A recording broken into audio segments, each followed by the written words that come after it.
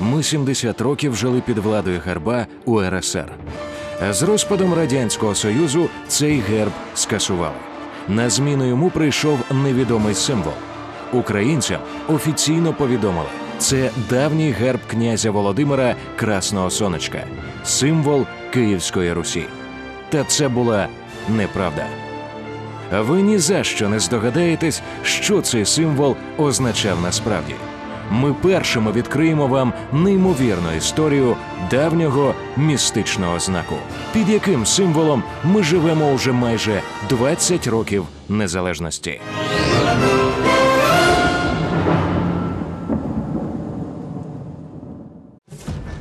Золота руна, куряча нога, зброя вогняного бога та володаря морів, сокіл у польоті. Усе це тризуб. Один з найдревніших символів світу. Десятки народів приписували тризубу магічну силу та складали про нього легенди. Але жоден вчений досі не визначив, коли і як цей символ з'явився вперше. Який сенс вкладали у нього давні люди?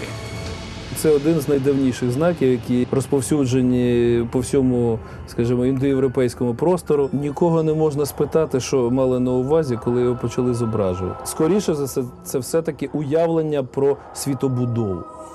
Яким чином воно закодовано і в кого знаходиться ключ від цього коду, ми зараз сказати не можемо. Ми з'ясуємо, коли цей символ з'явився в Україні. Відшукаємо найдавніший український тризуб. Дізнаємося, хто і коли першим використав тризуб як державний символ.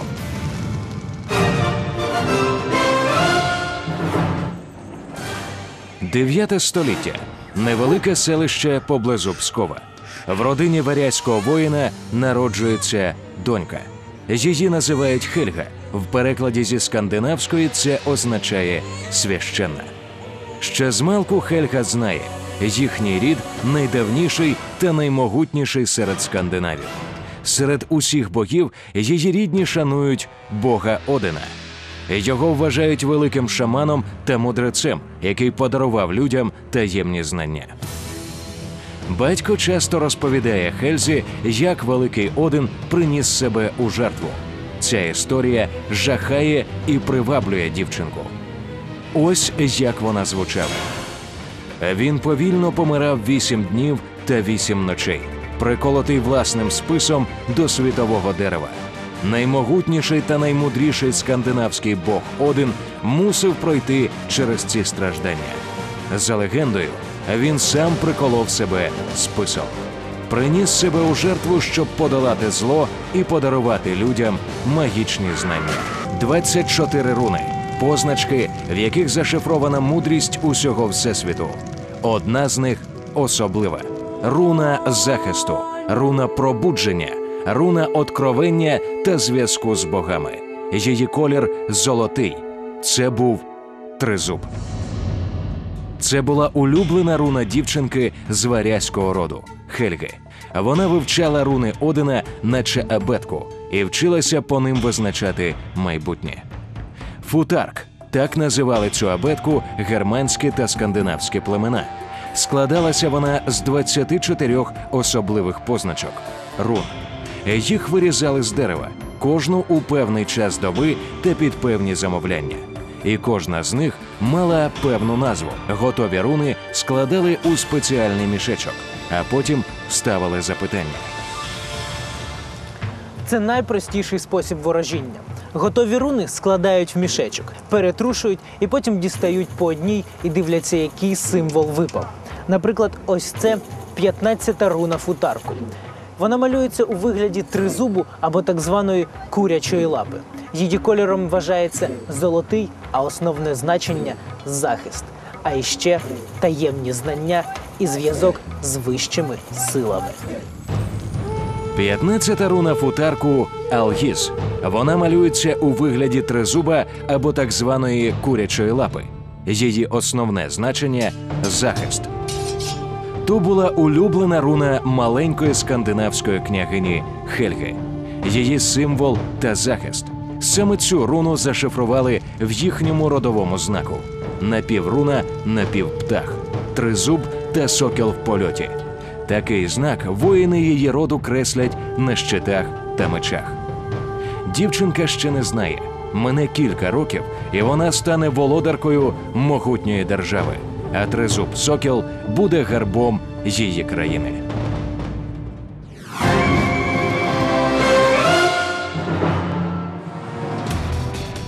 1993 рік. Розкопки старовинного міста Возвягель на Житомирщині, яке було спалене ще у 14 столітті. Серед розкопок на археологів чекала незвична знахідка.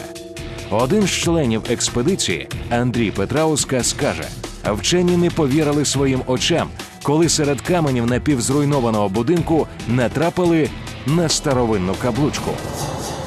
Це був срібний перстень, на якому ювелір вирізав зображення хижого птаха. Вчені встановили, каблучку зробили приблизно у 9 столітті нашої ери. Кому вона могла належати? Як опинилася у давньоруському місті? Дослідники переконують, на цьому персні один з перших зображень тризуба, зашифрований у вигляді птаха. І принесли його на Русь саме варяги Рюриковичі.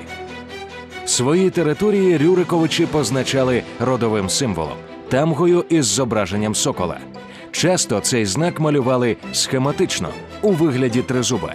Його зображення також наносили на зброю і використовували як прикрасу. Отже, цей перстень міг належати маленькій Хельзі. Та невже цей знак тризуб на Русь принесли загарбники скандинави?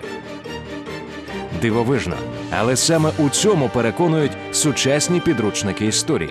За офіційною версією, тризуб це особистий символ київських князів Рюриковичів, чиї предки були варязькими загарбниками. Та підручники чомусь мовчать про те, що під час розкопок селищ трипільської культури на звичайному посуді археологи виявили давні знаки у вигляді тризуба. Неймовірно, він з'явився тут три тисячі років тому. Отже, тризуб був відомий на наших землях за два тисячоліття до появи варягів. І принесли їх давні волхви, які називали себе булгарами. Коли і де саме виникли булгари, для вчених досі лишається загадкою. Відомо лише, що вже у 15-му тисячолітті до нашої ери булгари мали власну державу, яка об'єднала землі сучасної східної Європи, Сибіру та Казахстану. Та у третьому тисячолітті до нашої ери окремі племена булгар починають розселятися по всій Європі. З собою вони приносять культ Біргюна, могутнього повелителя блискавок та грому. За легендами, цей бог ніколи не розлучався зі своєю зброєю, магічним жезлом з вогняним тризубом на кінці. Саме на честь великого бога болгарські шамани і прикріплювали до своїх посохів тризуб. Шамани вважали, цей символ допомагає їм при ворожінні тримати зв'язок з потайбічним світом, мандрувати іншими світами та зустрічатися з духами предків. Зображенням тризуба шамани позначали і місця, де вони приносили жертви великому біргюну. Звідки булгари принесли до нас цей символ? І що він означав у давнину?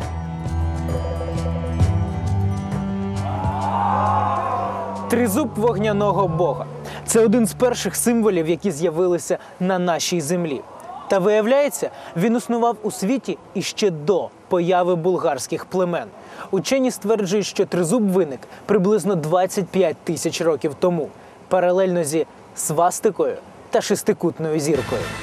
Дивіться далі, що спільного між шестикутною зіркою, свастикою та тризубом.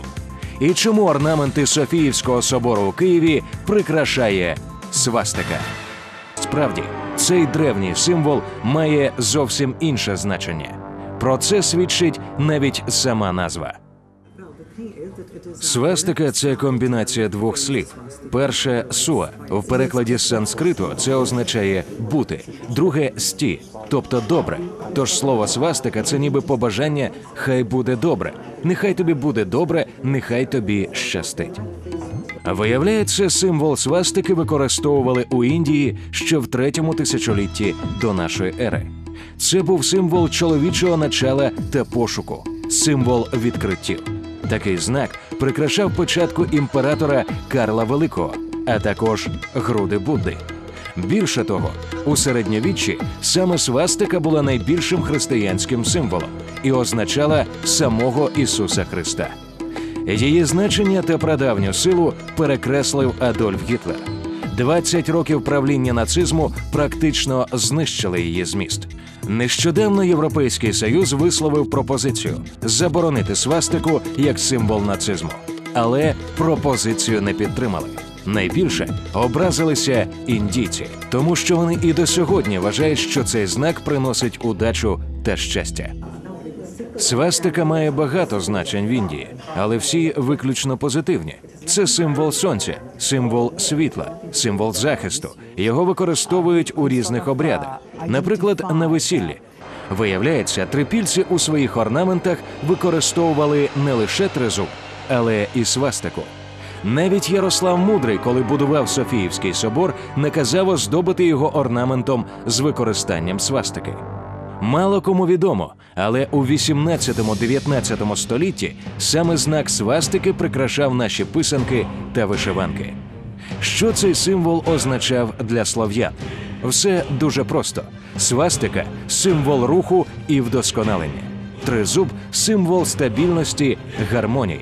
У поєднанні це вічний рух, бажання гармонії всесвіту. То були два улюблених знаки праіндійських народів, до яких належали і слов'яни. Зараз вони втратили своє справжнє значення, а з ними і третій найдавніший символ синя шестикутна зірка на білому тлі. Тепер це прапор Ізраїля, а сам знак вважається символом іудаїзму.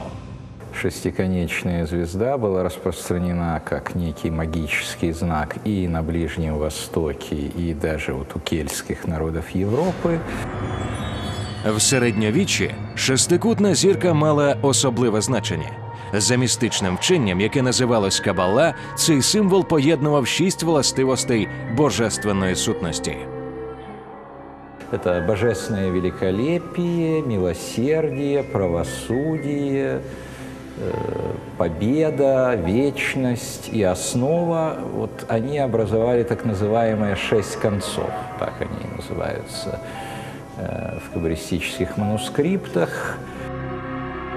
Лише наприкінці 18 століття шестикутна зірка стала іудейським символом.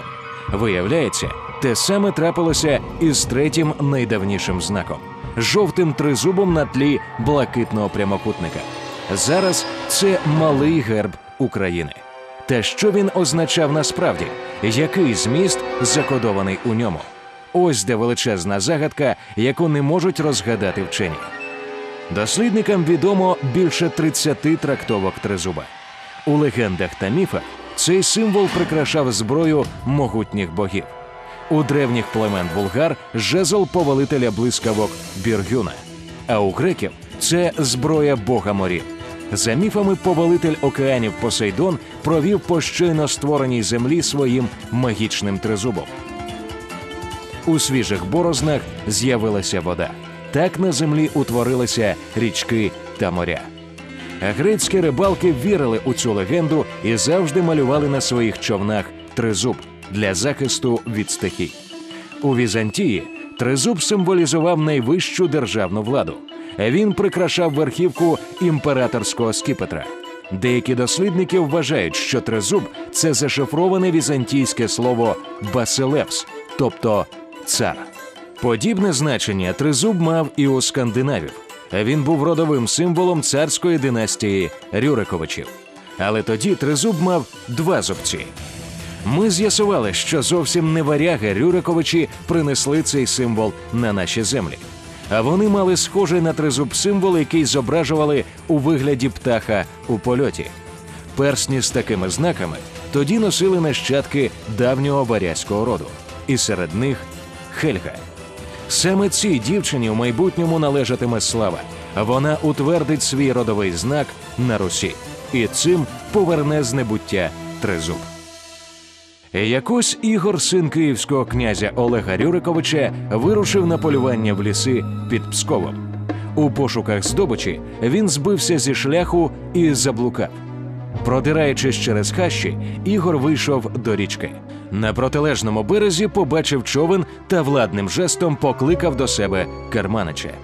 А коли людина у човні наблизилася, князь із здивуванням побачив це не чоловік, а прекрасна дівчина. Її ім'я було Хельга. Ігор починає залицятися до красуні, та вона докоряє князю за нерозсудливість. Адже Хельга не простолюдинка, вона донька великого воїна. Ця зустріч і сміливість Хельги справила на князя Ігоря настільки сильне враження, що він, повернувшись до Києва, вислав до Хельги сватів. А невдовзі молоді святкують пишне весілля. Саме у Києві варяжку Хельгу почали називати на слов'янський лад Ольгою. З нею до Києва прибула найдавніша руна захисту Алгіс. Це був оберіг княгині Ольги Тризуб. І саме його скандинавка Ольга назавжди зробить головним символом руської держави. А для цього їй доведеться втопити Русь у крові.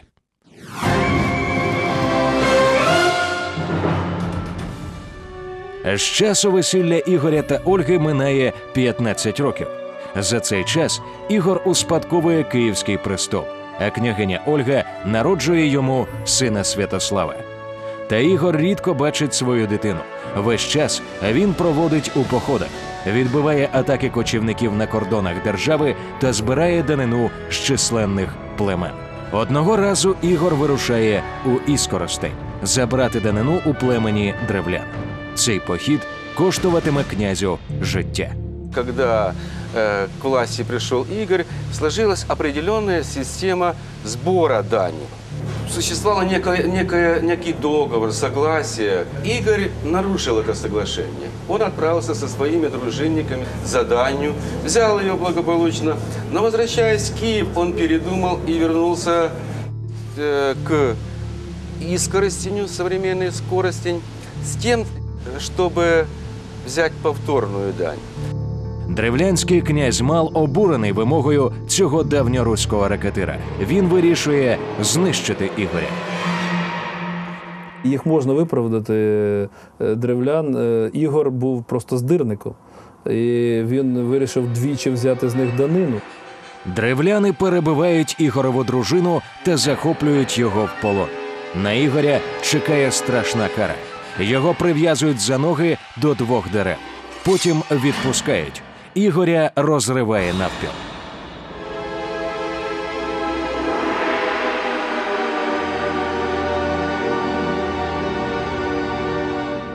Ольга почула страшну звістку про смерть чоловіка і знепритомніла.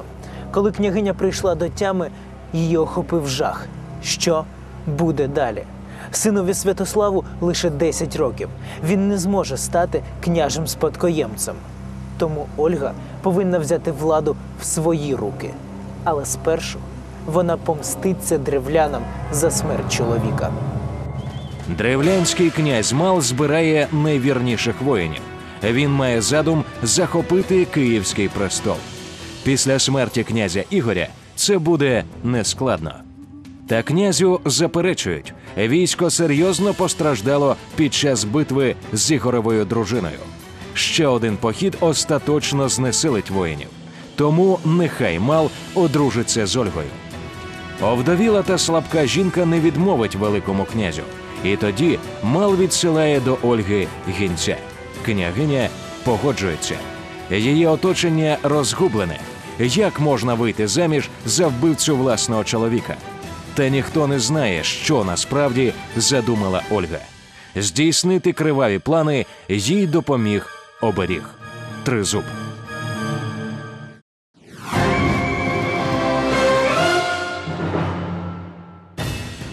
Детальний звіт про помсту княгині Ольги залишився у записах Нестора Літописця. До Києва прибуває перша делегація сватів від древлян. Княгиня приймає послів з пошаною, наказує розтопити лазню. А коли посли заходять всередину, двері лазні зачиняють, а саму будівлю підпалюють. Посли стали заручниками помсти Ольги. Вони згоріли заживо. А князь Мал, не дочекавшись першої делегації, посилає до Києва наступну. Та там на древлян знову чекає смерть. Воїни Ольги піднімають на плечі човен з послами, скидають їх у велику яму та закопують у землю живцем. А сама Ольга вирушає до Іскоростеня. Вона повідомляє малу, що погоджується вийти за нього заміж. Князь втішений. Він ще не знає про смерть своїх послів. А Ольга просить у нього, чи можна перед їхнім весіллям провести поминальну службу на кургані, де похований її чоловік Ігор. Мал погоджується. Того дня він приходить до кургану разом зі своїми воїнами. Та там на них чекає озброєне військо Ольги. Літопис свідчить, того дня воїни Ольги на могилі її чоловіка Ігоря вбили п'ять тисяч древлян і помстилися. Та саму древлянську столицю Ольга захопити не змогла. Надто надійно захищали це місто мури та укріплення. Ошуканий мал лютував, але здаватися не поспішав. Облога Іскоростеня тривала півроку. Як Ользі вдалося взяти це місто? Існує дві версії. За однією, більше схожою на казку, княгиня вдається до хитрощів. Вона дивиться на свій перстень з оберегом тризуб, сокіл, птах. І раптом княгиня знаходить відповідь. Їй допомагає родовий знак птаха тризуба. І скоростень зрадять голуби. Вночі птахів за велінням Ольги викрадають з обложеного міста. Куди вони полетять, якщо їх випустити? Звісно, додому. Ольга наказує прив'язати до лапок птахів мішечки із тліючою сіркою. Голуби та горобці повертаються в місто. Солом'яні стріхи спалахують. Іскоростень у вогні. Тоді дружина Ольги вривається в місто і вбиває майже всіх мешканців. Помсту завершено з допомогою таких ось маленьких птахів. Саме цю версію спалення і скоростення досі вивчають у школах на уроках історії. А як все було в реальності? Історики припускають, княгиня дійсно вдалася до хитрощів, щоб підкорити місто, але без допомоги голубів. Я гадаю, що Ольга була більш прагматична. Е, Я думаю, що вони привезли грецький вогонь, е, тобто запальну суміш е, з Візантії, і використали її за призначенням. А першу палаючу стрілу з сумішю, кажуть, випустив її син, запальний князь Святослав. Так було спалене місто, яке претендувало на роль столиці руських земель. Повстання древлян Ольга придушила. Тепер ніщо не заважало їй об'єднати Русь і зробити столицею нової держави Київ. Княгиня Ольга тріумфувала. Вона особисто об'їхала свої володіння та позначила їхні межі князівським знаком. Це її родовий символ тризуб сокіл. Віднині ніхто не має права порушити ці кордони, тому що їх захищає тризуб. Та в душі Ольга розуміє, цього замало. Для того, щоб остаточно об'єднати руські племена язичників, необхідна єдина релігія. Але яка? Наймогутнішою на той час державою у світі вважалася християнська Візантія. Київській Русі необхідно було налагодити стосунки з імператорським двором. А для цього, запевняє повість минулих літ, Ольга вирішила прийняти християнство і похреститися у самій Візантії. Саме тому Ольга віддає наказ готувати кораблі до мандрівки в Царгород, столиці Візантії.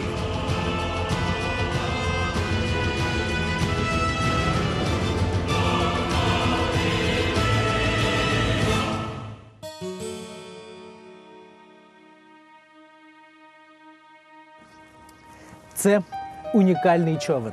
Він побудований точнісінько так само, як це робили тисячу років тому. Називається він сварог. Інженери відтворили навіть найменші деталі і повністю зберегли технологію. Сухе дерево одразу після спуску набирає воду і йде на дно. Тому цей човен щовесни перед подорожжю затоплюють на 5 днів для того, щоб дерево розбухло. Так робили і давньоруські майстри. І саме на такому човні відправилася у подорож до Константинополя княгиня Ольга. Коли кораблі були готові, на них завантажили хутра та зброю, подарунки візантійському імператору. А головний човен, на якому попливе сама княгиня, прикрасили золотим тризубом. Він мав оберігати Ольгу у морі. Нарешті збори було завершено. З Київської гавані урочисто відплив княжий почет.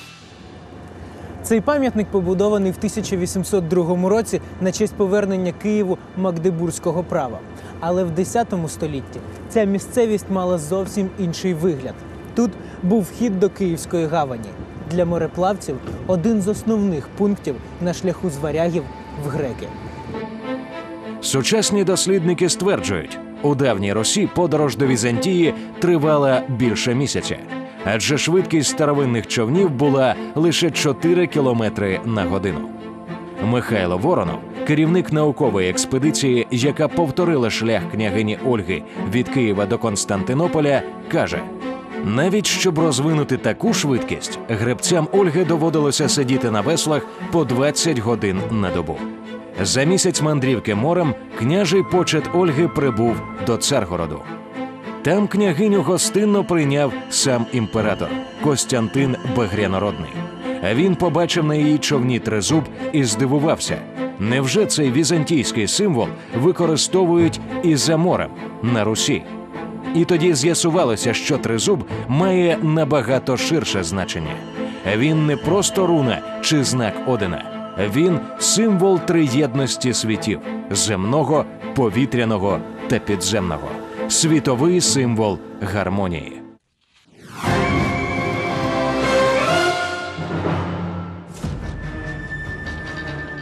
З Візантії Ольга повертається християнкою. Вона наказує знищити давні язичницькі капища. Єдине, що вона залишає тризуб.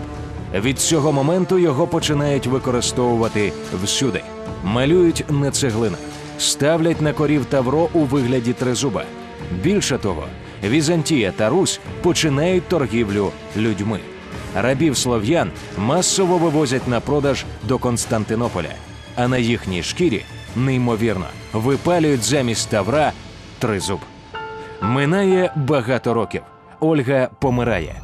Їй так і не вдається добровільно похрестити Русь. Язичники, які служать богам Перуну та Триглаву, не визнають Христа. За Ольгу справу завершить її онук, князь Володимир, але тризуб знищити побоїться. 988 року Володимир Великий накаже знищити усіх старих ідолів. А потім він збере киян на березі річки. Княжа дружина зажене людей у воду. Візантійський священник прочитає над ними молитви. Відтепер офіційна релігія держави християнство. Єдине, що Володимир наказав залишити з язичницьких часів давній символ оберегу тризуб на знак захисту Русі та у пам'ять про бабусю, княгиню Ольгу.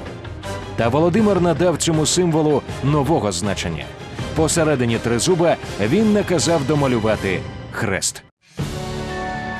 Давній булгарський та скандинавський знак, золота руна Одина, знак Посейдона. Вона могла зникнути, якби не князі, що вірили у її силу Ольга та її онук Володимир Великий. Саме після смерті Володимира тризуб стає офіційним державним знаком Київської Русі. Але тепер він постійно видозмінюється. Кожен правитель намагається змінити його так, щоб відрізнятися від попередника. Та раптом тризуб зникає, а його значення люди поступово забувають. Це сталося під час монгольської навали Батия та зруйнування Києва. 13 століття. Тоді для Київської Русі настали смутні часи. Постійні війни, зради, боротьба за престол. Потім розподіл земель, підпорядкування їх Литві, Польщі та Росії. Зв'язок часів було втрачено, і втрачено символ. Здавалося, назавжди. Та на початку 19 століття у Києві під час розкопок на місці Десятинної церкви дослідники знайшли цеглину, позначену невідомим символом. За одним відкриттям була черга наступних. Цей знак знаходили на зброї та посуді, тому що саме за велінням князя Володимира його почали ставити усюди. І саме завдяки Володимиру Тризуб пережив 800 років забуття та повернувся. Ось так виглядали перші монети Володимира. На аверсі зображений сам князь, а над ним напис Це Володимир, а це його срібло. А з іншого боку тризуб. Минуло 19 століття. Весь цей час тризуб був просто нагадуванням про славетні часи князя Володимира. Більше його ні з чим не асоціювали. Знову про тризуб згадали тоді, коли Україна отримала шанс здобути незалежність. 1917 року Центральна Рада проголосила створення Української Народної Республіки. Саме тоді постало питання про державну символіку України. Спочатку на гербі хотіли позначити архангела Михаїла. Були і ще варіанти: козак з рушницею, золоті зірки на золотому тлі та золотий плуг. Але історики, перший президент нової держави Михайло Грушевський запропонував саме цей знак, про який тоді в Україні мало хто пам'ятав. Це єдиний в світі пам'ятник тризубу. Саме на цьому місці, в Коростені на Житомирщині, в 1918 році цей невідомий знак визнали офіційним гербом України. Так, після забуття давній символ пережив іще одне відродження.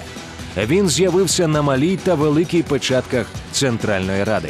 Його зображення знову почали друкувати на грошах. Та це визнання було недовгим. За кілька років тризуб знову став забороненим символом. Його почали просто боятися. За часів Радянського Союзу використання цієї символіки каралося ув'язненням. Той, хто малював тризуб, вважався злочинцем. Лише після проголошення незалежної України 19 лютого 1992 року золотий тризуб на синьому тлі нарешті був затверджений як малий герб України. Та після всіх пригод, які пережив тризуб, його істинного прадавнього значення так і не розгадали. Ми спробували провести своєрідний експеримент, відкритий урок в одному з дитячих садків шкіл Києва. Перед дітьми поставили завдання намалювати державний герб і пояснити його значення, так як його трактують самі діти. Та жодного з уже знайомих пояснень ми не почули, тому що у свідомості нового покоління таємничий знак набув нового значення. Воля є зашифроване слово. А як воно там так зашифроване? Ага. Якщо ми закриємо все отут, то це О. Так. Якщо закрити ось так, от, то буде Л. Ага. І е, оце я. Ага. Там написано воля, так? Так, так. Думаю, що в ньому є якась магічна сила. Є свята Троїця і якраз у тризуба три е, зубка ось таких. Думаю, що зв'язано з магією. Тризубець позначає маму, тату і дитину. І ще е, ну, він, шан- він дає любов, життя е, та мужність. Ось як зображують тризуб княгині Ольги та Володимира Великого, знак Одина та давніх булгар сучасні діти. За останні роки до нього додалося безліч нових значень: золота куряча лапа, посох Посейдона, сокіл в польоті, символ, в якому сплелися страждання скандинавського бога та муки одного з перших християн. Його первинного значення досі не розгадав ніхто. Але саме у цьому і є сила тризуба. Кожна епоха додає у цей знак нового сенсу. Його трактують по-різному, але він завжди світлий, таємний, нерозгаданий символ захисту.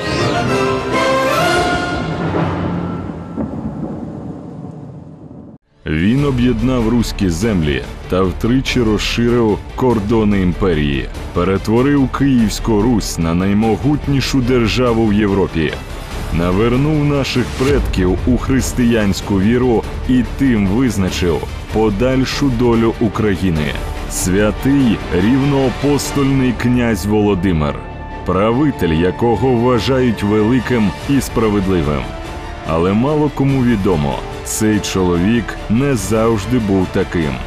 Більшу частину життя він лишався жорстоким тираном і запеклим язичником. Поклонявся Богу війни Перуну та приносив йому людські жертви. Після хрещення він не розпустив гареми та не припинив жертвоприношень, а навернувся у віру лише через жінку, яка змінила і його, і всю Русь.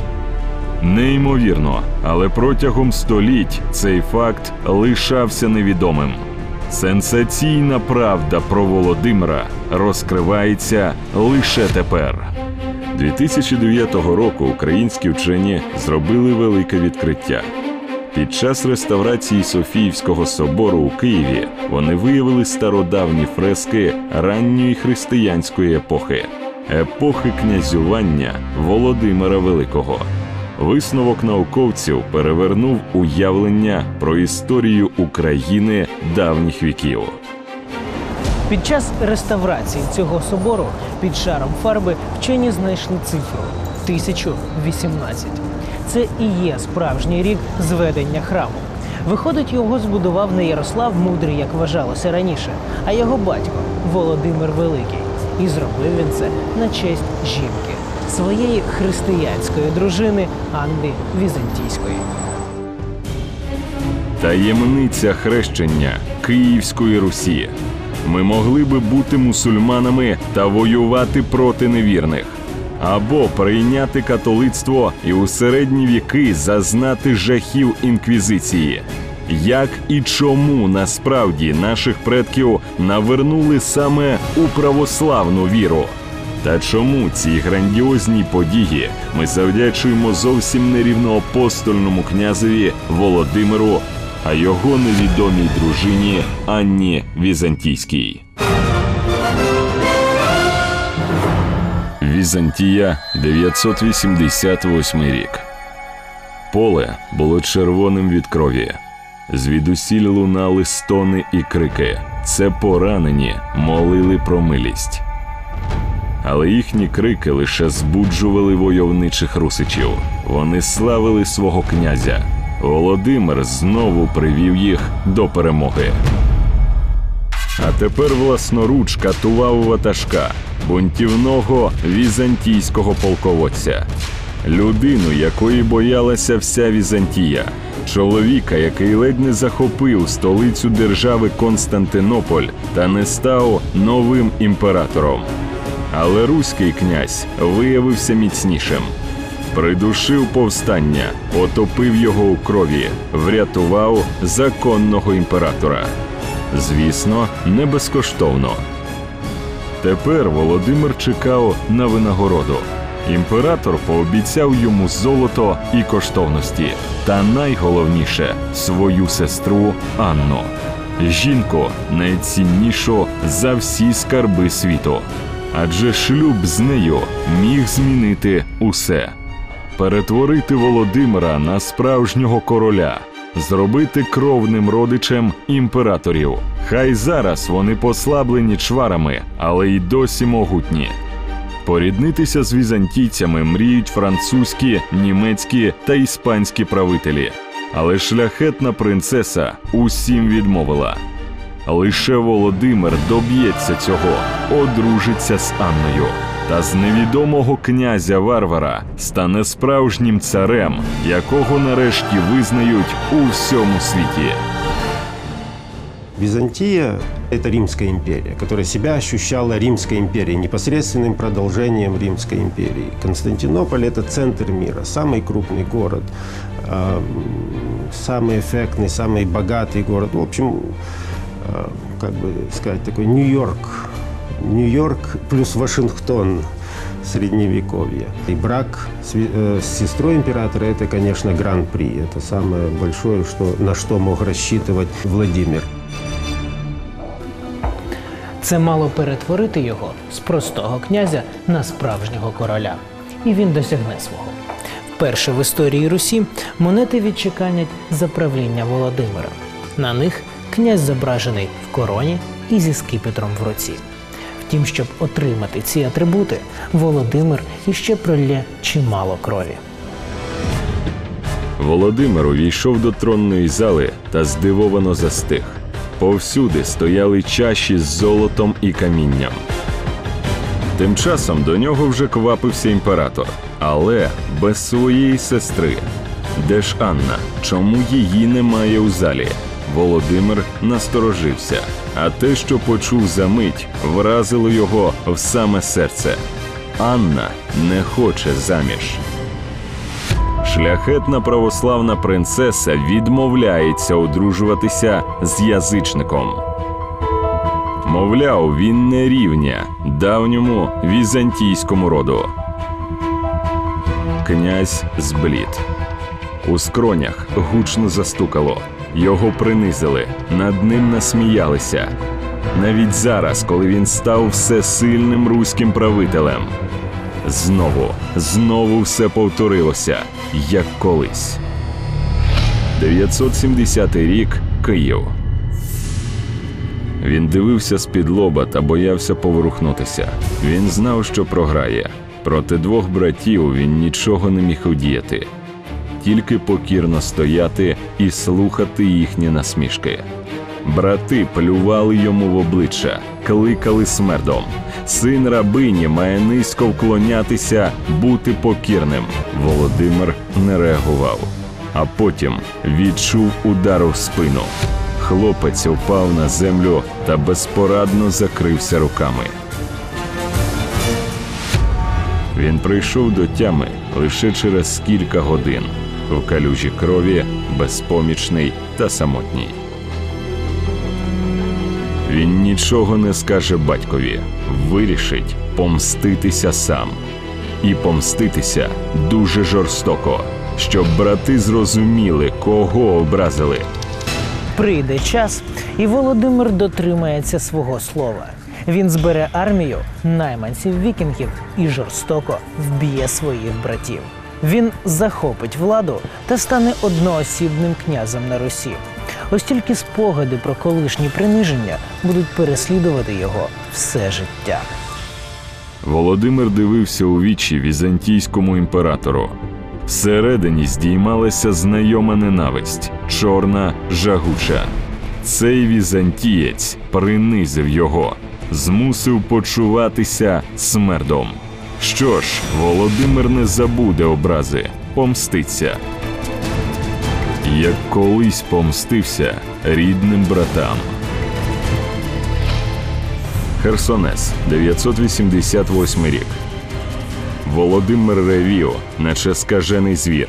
Він зробив це, переміг, взяв найбільше та найбагатше візантійське місто в Криму, змусив його хрипіти голосами чоловіків, ридати сльозами жінок та жалітися зойками немовлят. Але ці звуки були музикою для князя. Нехай імператор дізнається, на що здатен Русич. Так, руський князь не має шляхетних коренів, проте він має потужну армію, а ще вміє будь-що добиватися свого. Принцеса Анна належатиме йому, чого б це не коштувало. Він би міг відступитися, забути про одруження з Візантійкою. Але відчуття образи, приниження, знайоме йому з дитинства, не відступало. Всі роки воно керувало Володимиром, вело його вперед і давало омріяну перемогу. Да, действительно, во времена Владимира I Святославовича совершались жертвоприношения, в том числе и человеческие. Дело в том, что в результате языческой реформы, которой он же сам и провел, Перун стал главным божеством славянского пантеона. Э, Он сделал Перуна не просто громовержцем, а еще и покровителем войны. А покровитель войны требовал принесения человеческих жертв. Подтверждение тому мы можем найти в повести временных лет, их целых два. А, Что касается подтверждений извне, то это э, германская летопись, которая так и называется «Хроники». А невдовзі переляканий візантійський правитель надішле князю листа.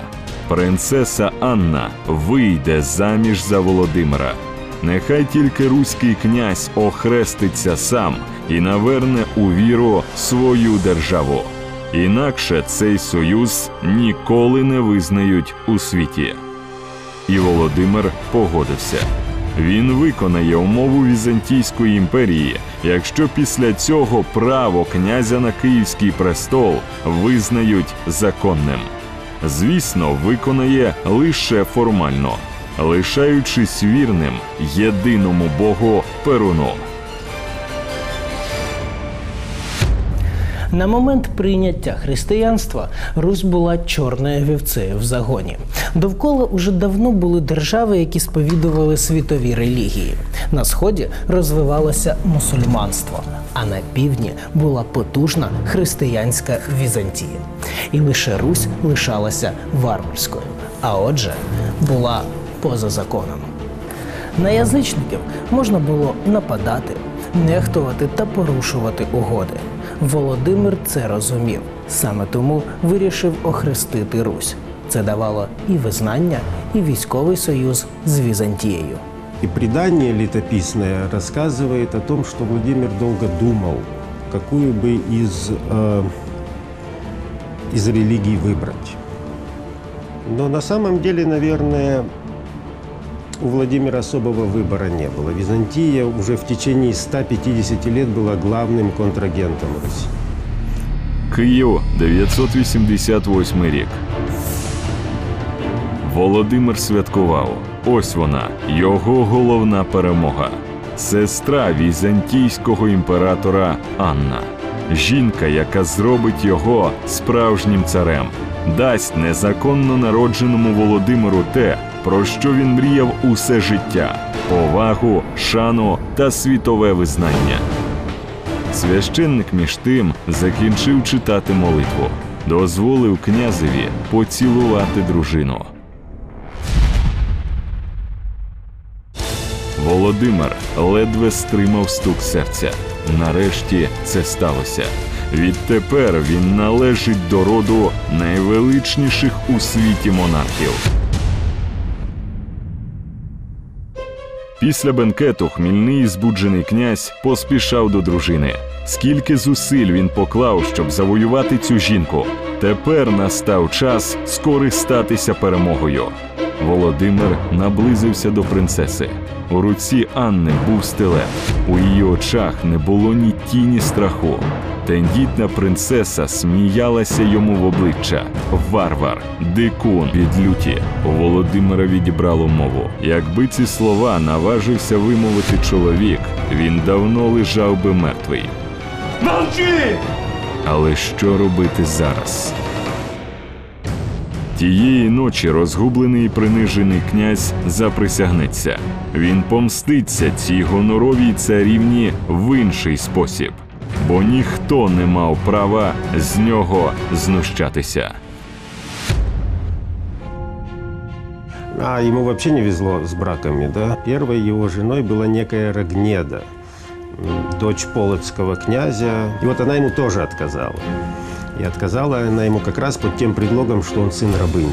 Тогда Владимир отправился военным походом на Полоцк, взял город и как бы насильно э, овладел этой Рогнедой. Анна – это вторая дама, которая ему отказала. Анна металася у ліжко, їй наснився кошмар. Ріки крові, стогін поранених і її варвар чоловік, що височив над горою трупів. Вона встала. Страшенно хотілося пити. Покликала прислугу, але ніхто не відповів. Хитаючись, вона вийшла. У кінці коридору почула людські голоси та сміх. Попрямувала на звук, але коли відчинила двері, то ледве не впала. На м'яких шкурах увивалися оголені тіла. Анна жахнулася. То був голос Володимира, аж раптом криво всміхнувся і махнув їй рукою. Цей жест ніби змусив її отямитися. Анна ледь стримувала сльози.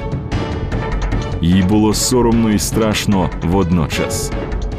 Насправді, гареми в язичників вважалися нормою. Вони були в усіх руських князів. Єдине, чим відрізнявся Володимир, так це кількістю одалісок. Ось тут, на місці сучасного десятинного провулку, колись стояв палац князя. І як свідчать арабські літописи, разом з Володимиром в ньому проживали від 40 до 400 наложниць, улюбленець князя. Крім них, за свідченням Нестора Літописця, у Русича ще було 800 коханок. Вони мешкали в трьох гаремах Вишгороді, Белгороді та Берестові.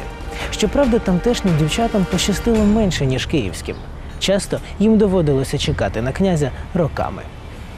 Коли принцеса вибігла, Володимир розреготався.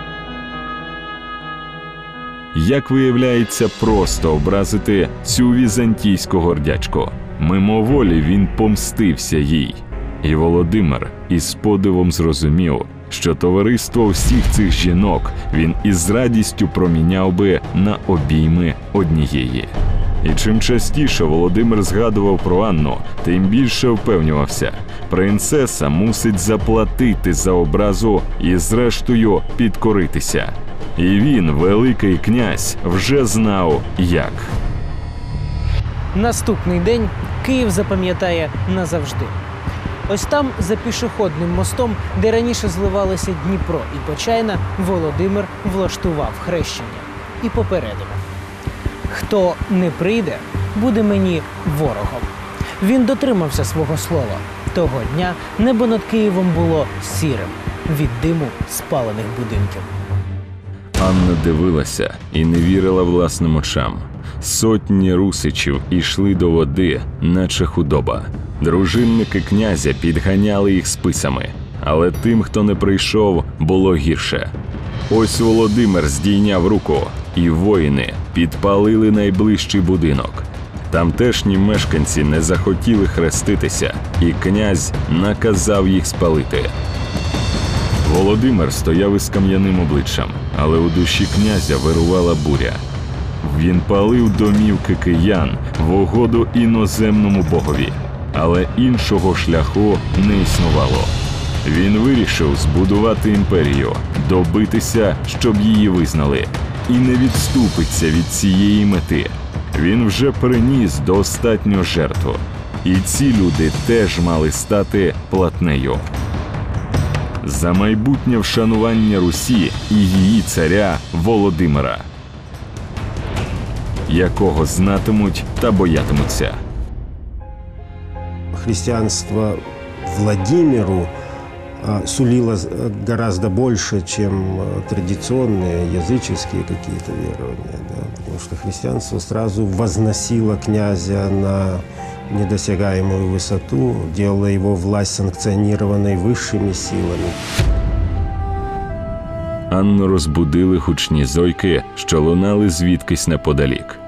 Вона знала, це Володимир повернувся з чергового військового походу і тепер святкує перемогу. Та коли визирнула у вікно, здригнулася. На дворі палало багаття, а в центрі стояв ідол Перуна.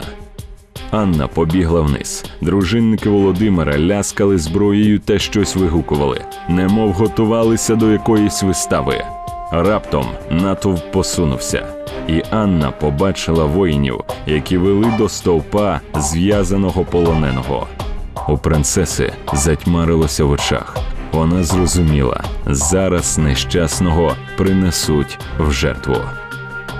Принцеса кинулася до воїнів одного, другого, третього. Але усе марно. Величезні русичі, мов зачаровані, вигукували незрозумілі їй слова та нічого не помічали. Раптом Анна побачила в натовпі свого чоловіка, і він вже заносив меча над полоненим. Немов божевільна принцеса кинулася до князя, закричала: Володимир не повинен цього робити. Він став християнином і має подумати про власну душу. Володимир завмер. Вщухли голоси дружинників. Анна відчула, що може умовити чоловіка. Але як? Що їй зробити? У відчаї вона вигадала лише один спосіб вирішила зробити те, чого ніколи ні перед ким не робила. Вражений Володимир завмер. Він і гадки не мав, що візантійська гордячка на це спроможна. І ошелешений Володимир вперше в житті завагався. Відчайдушний вчинок дружини раптом пом'якшив його серце. Але поступитися їй значило проявити слабкість на очах у підданих. Ні, цього не можна було допустити. Замить полонений впав замертво. Руський князь знову віддячив Богу війни. Та головне дав зрозуміти воїнам: нічого не змінилося. Перун є і буде їхнім богом. Він, як і раніше, оберігатиме русичів від ворожих стріл та даруватиме їй такі п'янкі перемоги. Безусловно, за столь короткий промежуток времени Владимир не мог отказаться от языческих традиций, которые впитал с молоком матери. Соответственно, для того, чтобы он отказался от человеческих жертвоприношений и стал истинным христианином, и христианином должно было пройти достаточно продолжительный период времени. Насправді, віра в Перуна була важливою частиною внутрішньої політики Володимира. Князь розумів, не можна позбавляти цієї віри воїнів, адже вони можуть і повстати. Тому князь розпорядився поставити біля палацу невеликого ідола, щоб і надалі приносити йому жертви.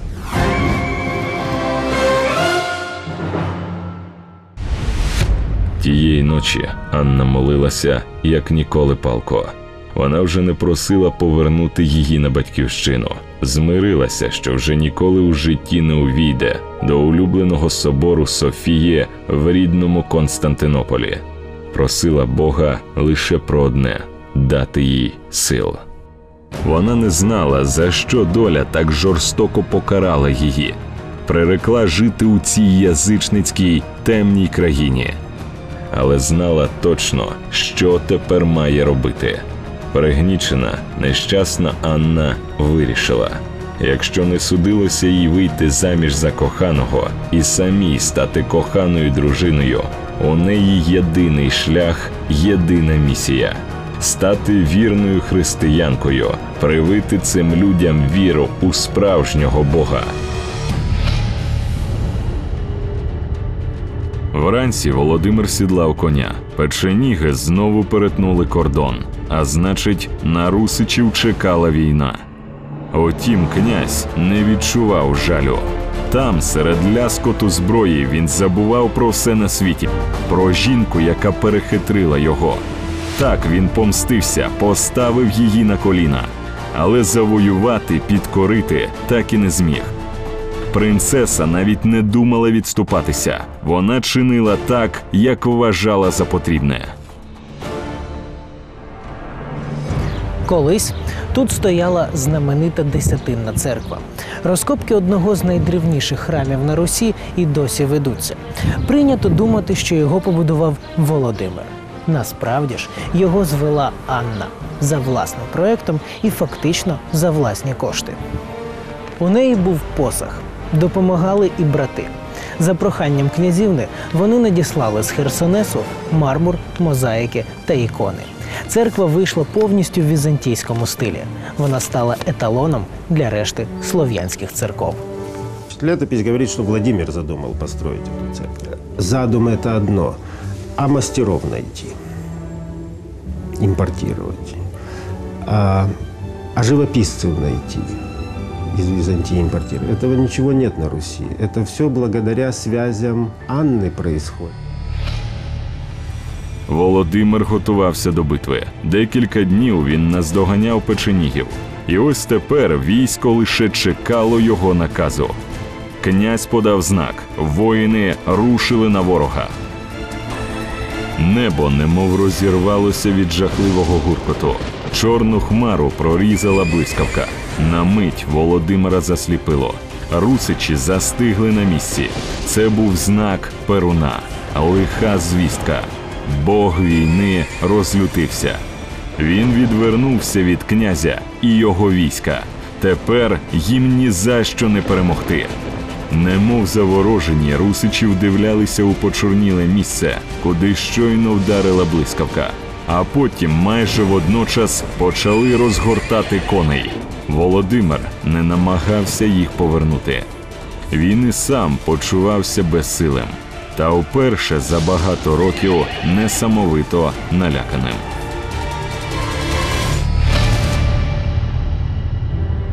Навіть у Києві Володимир не міг оговтатися. Він не бачив нічого і нікого навколо. Слуги щось говорили йому, доповідали, що візантійська принцеса почала спорудження дивного храму. Володимиру усе байдуже. Він бачив лише очі дружинників, які дивилися на нього вовком. І князь не питав, чому. Володимир і сам почувався зрадником. Він охрестив Русь, він вагався, чи приносити жертву, і Перун жорстоко помстився за це.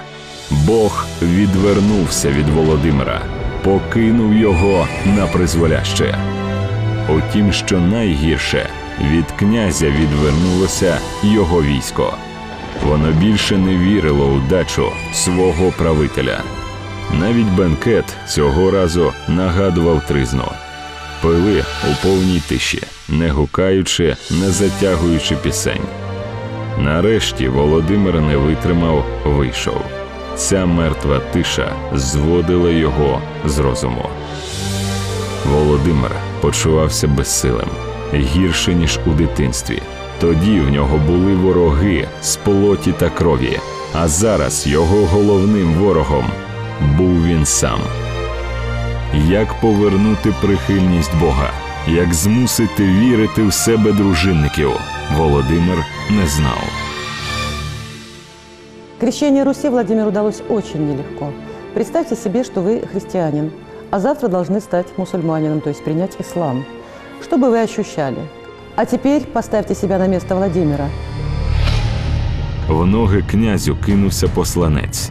Його місто оточили кочівники. Це печеніги, від яких утекло його військо. Треба було рушати у битву, здобути перемогу, у яку він і сам не вірив.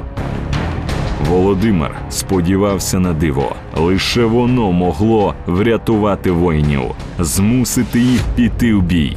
І це диво станеться. А здійснить його людина, від якої він найменше чекав допомоги. Похмурі воїни мовчки сідлали коней, коли до них вийшла Анна. Княгиня тримала в руках ікону. То був образ святого Іллі Громовержця. Принцеса дивилася в очі дружинників. Володимир мимоволі замилувався. Пряма постава, спокійний, впевнений голос, рішучий погляд. Здавалося, вона ще ніколи не була такою прекрасною і водночас такою недосяжною. Анна дивилася на дружинників. Ікона, що принесла принцеса, допоможе руському воїнству. Ілля захистить русичів. Ліпше перуна, ліпше будь-якого іншого бога. Дружинники розгублено дивилися на князя, і Володимир зрозумів, це був його єдиний шанс, його спасіння. Він має змусити військо повірити у нового бога, бо немає іншого вибору. Князь підійшов до принцеси, взяв ікону і переможно підніс її догори, а потім пришкорив коня та шаленими вигуками кинувся вперед. І неймовірний запал князя подіяв. Дружинники рушили за ним. В цій київській церкві, яку збудувала ще княгиня Ольга, є унікальна фреска. На ній зображується святий Ілля на вогняній колісниці. В Біблії він дійсно їздив на вогняних конях, але на канонічних іконах його завжди зображували мирним пророком. Чому ж тут він войовничий? Виявляється, руські іконописці зобразили його таким за наказом княгині. Це був трюк для невіруючих. Вигадали його ще візантійці, а принцеса Анна ним вдало скористалася. Что касается принятия христианства Русью, то можно сказать только одно. Языческие традиции, языческие обряды, языческая культура не могла коренным образом замениться, э, поменяться на христианскую. Византийское государство, ведя достаточно тонкую, я бы сказала, даже хитрую политику, иногда шло на компромисс. Соответственно, так сказать, местные божества заменяло своими собственными святыми. Так Перун превратился в святого Илью. Володимир вдивлявся у вороже військо. Ще мить, і він кинув клич виступати. Але дружинники немов не чули. В їхніх очах був лютий страх. Вони не вірили у перемогу.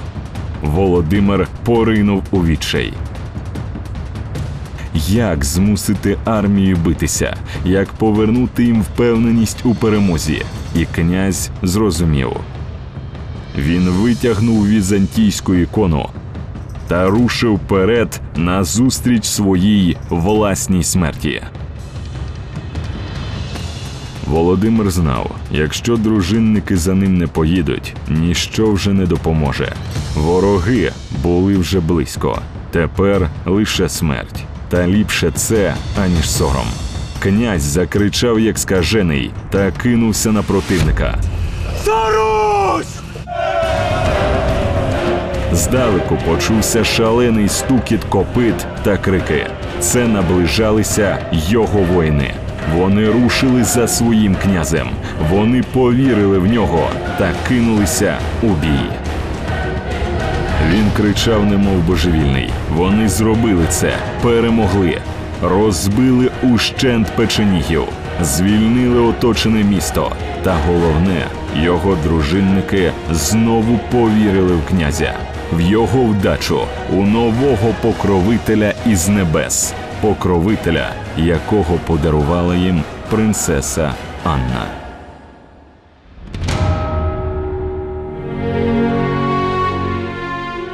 Это вполне объяснимо, потому что воину нужна уверенность в победе. А для этого ему нужна серьезная поддержка.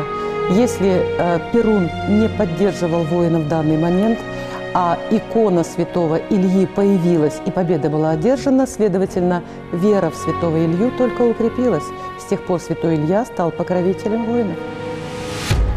Анна зрозуміла, язичникам треба дати альтернативу, замінити їхніх богів християнськими пророками, а віру в потойбічні сили вірою в християнських святих. Так, замість покровителя домашніх тварин Велеса з'явився святий Микола Угодник. На місце богині родючості Макоші прийшла свята Параскева. А Ілля Громовержець замінив руським воїнам їхнього бога Перуна. Згодом в календарі навіть Перунів день перетворився на день святого Іллі. Повернулися пізно ввечері. Князь стрімголов кинувся до палацу, злетів по сходах, пробіг коридором, зупинився біля дверей. Ледь стримав шалений стукіт у грудях, увійшов. У кімнаті стояла тиша, Анна спала. Володимиру захотілося залишитися. Хай вона спить, він постереже її сон. Це найменше, чим він може її віддячити. Його дружина, його помічниця, його друг.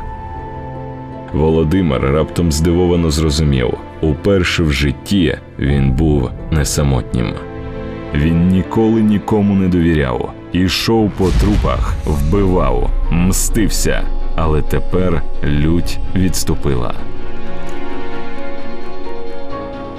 Анна поворушилася, по-дитячому підклала під щоку руку, і Володимир не стримався, нахилився та легко поцілував її.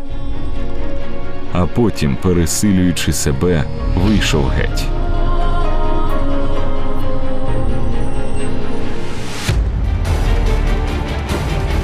Уранці князь ричав, немов дикий звір. Прокинувшись, він зрозумів, що Анна зникла, і ніхто не знав, куди саме. Він немов збожеволів, лютився на слух. Нарешті знайшов служку князівни. З тремтінням почув, що відчайдушна Анна поїхала аж до Вишгорода. що вона хоче набрати дітей для якоїсь школи, і що з собою взяла лише двох охоронців. У Володимира потемніло в очах. Вона не розуміла, що робить, не знала, на яку небезпеку наражає себе. Віддавали дітей у навчання книжне, а матері плакали за ними, немов за мертвими.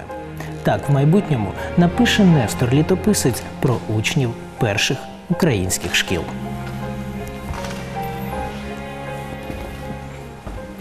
Язичники дійсно боялися грамоти, а азбуку вони вважали ледь не відьомською книжкою, тому готові були стояти на смерть, аби не віддавати своїх чад на навчання. Дело в том, что языческая культура славян была бесписьменной, в отличие от письменной христианской. Буквы, любые письменные знаки навевали мистический ужас на язычников. Соответственно, они должны были защитить, спасти своих детей от воздействия потусторонних сил. Приїхали. З будинків вийшли насторожені люди. Анна звернулася до господарів, попросила віддати дітей. Пояснила, у Києві вона звела школу, де дітлахи будуть жити та вчитися грамоті. Але вишгородці немов не чули. Вони ховали дітей за спиною, дивилися вороже люто.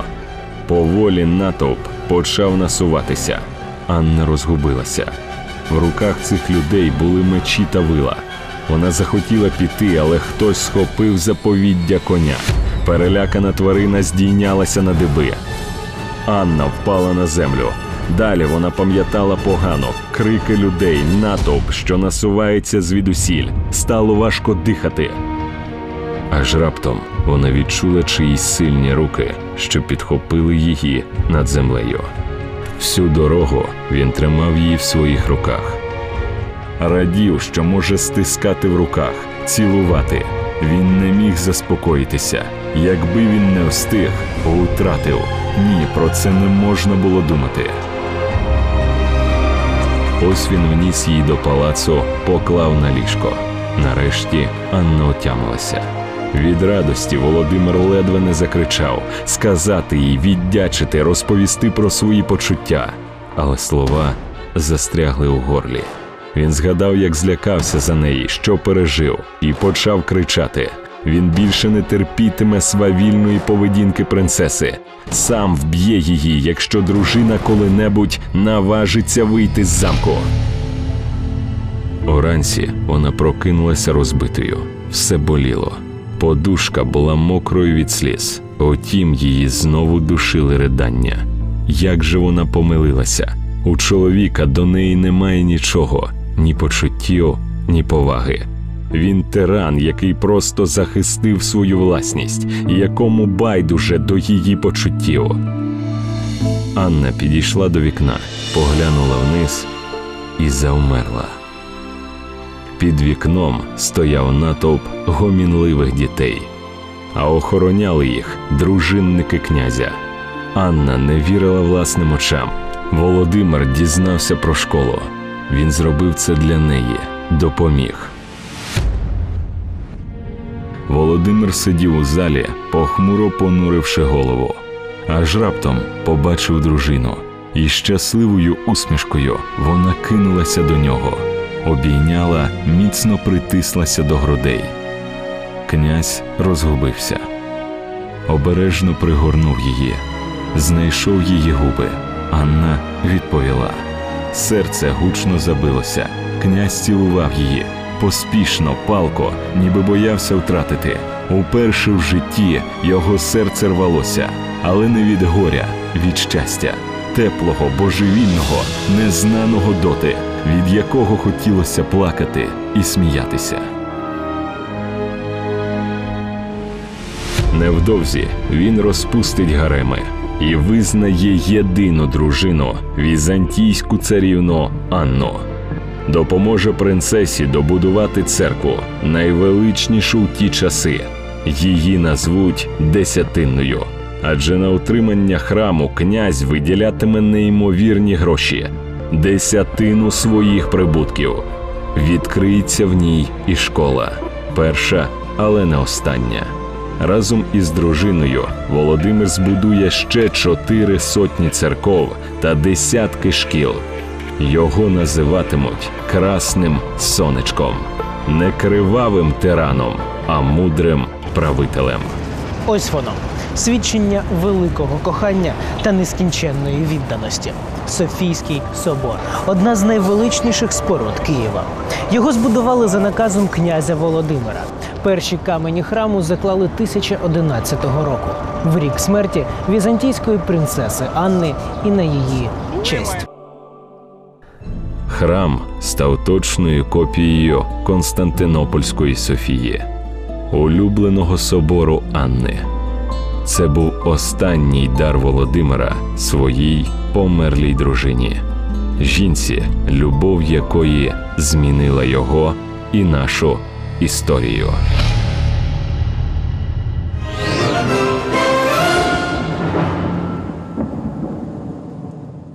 Ця жінка здійснила революцію у чужій для себе країні королева Франції Анна Ярославна. У 11 столітті саме вона навчила французький двір читати і писати, подарувала французам лазню і змусила під час трапез користуватися виделками. Анна будувала монастирі, листувалася із самим папою римським. Піддані чужої колись для неї Франції обожнювали її і називали рудою Агнесою.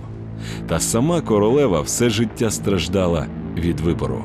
Поруч із нею було двоє чоловіків: король і його ворог, якого усі називали дияволом. Законний чоловік і кохання всього життя. Обидва змагалися за любов королеви, і вона віддала перевагу другому.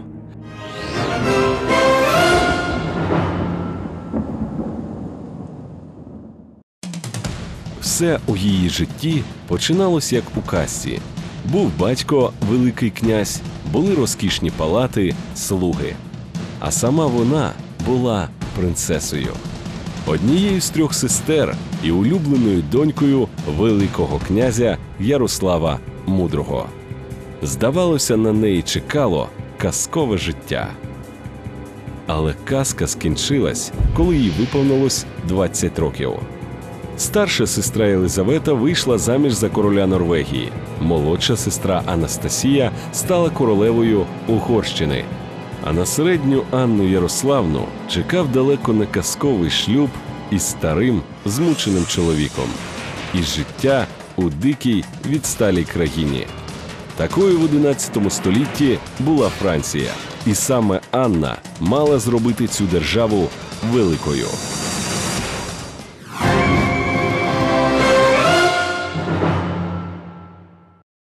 На початку 11 століття Європа була схожою на великий подрібнений пиріг. Франція, Італія, Німеччина, Британія вели безкінечні війни за укріплення королівської влади. Тут і там спалахували бунти опозиційних феодалів і селян. Послабилась і влада Великої Візантії. Лише на сході Європи існувала велика об'єднана держава, в якій не було війн і де всі любили короля. Це була Київська Русь і її правитель князь Ярослав Мудрий. Породичатися з ним мріють всі королі Європи. Він уже видав заміж двох доньок. З батьком у Києві залишалася середня Анна. Він шукав для неї найкращого з чоловіків і наймогутнішого з королів. За тисячі миль від Києва на троні сидів 50-літній змучений чоловік, король Франції Генріх І. Його владу ось ось скинуть розлючені феодали. І серед них найперший претендент на престол граф Рауль де Валуа. Україні за жорстокий норов Валуа називають дияволом. Усі злякано очікують на страшне кровопролиття. Причина повстання проста: у короля досі немає дружини і дітей, а отже, немає кому передати владу у разі смерті. Здається, ще трохи і Генріх І назавжди втратить престол, а можливо, і життя. Неймовірно, але короля врятувала жінка. Французи називали її Агнеса Руда, і в свої 20 вона стала запорукою державної влади у Франції. Її розумом захоплювався сам папа римський, і з нею узгоджували усі державні питання. Ким же насправді була ця Агнеса Руда? Нам вдалося знайти унікальне зображення цієї жінки. Художник намалював його вже після смерті королеви. Воно збереглося у великих французьких хроніках. Це єдине зображення жінки, яка прославила Францію. Вона народилася в Києві.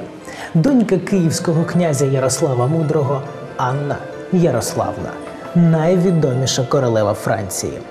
Але як їй вдалося врятувати короля та чужу для себе країну? Франція, 11 століття. Влада короля під загрозою. Щоб утримати її, Генріху І потрібно терміново одружитися. А від його дружини вимагається лише одне народити хлопчика. У чому ж проблема? Невже королю складно було знайти дружину? Виявляється, так. Одружитися він може лише з принцесою, а всі королівські родини у Європі того часу буквально переплетені спільними шлюбами. І всі принцеси сусідніх держав фактично двоюрідні сестри і тітки Генріха. Є лише одна надія донька великого мудрого князя Ярослава з Києва.